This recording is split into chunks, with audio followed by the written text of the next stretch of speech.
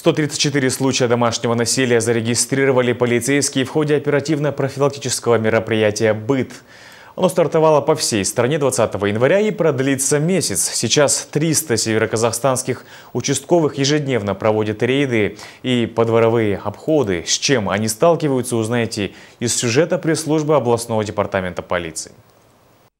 Она пела сыну колыбельные на ночь и научила держать ложку, а он отплатил ей постоянными побоями. Североказахстанские полицейские привлекли к ответственности 46-летнего петропавловца. Мужчина нигде не работает, а свободное время предпочитает проводить с бутылкой горячительного. Его мать неоднократно обращалась за помощь к полицейским, но ни защитные предписания, ни требования суда результата не дали. Мужчина продолжал терроризировать свою маму. Теперь тирану грозит административный арест до 7 суток. На него завели дело по неисполнению приговора суда. Остается надеяться, что неделя под стражей мужчину во всех смыслах отрезвит. Сотрудниками полиции активно применяется норма Кодекса об административных правонарушениях, статья 669, часть 2, которая предусматривает административную ответственность за нарушение установленных судом особых требований. В отношении семейных дебаширов на сегодня э, трем дебаширам применен административный арест сроком на 5 суток. Всего за две недели мероприятия «Быт» в Северном Казахстане выявили 134 факта бытового насилия. 45 из них благодаря рейдам и подворным обходам. Полицейские не только привлекают домашних тиранов к ответственности, но и помогают их жертвам.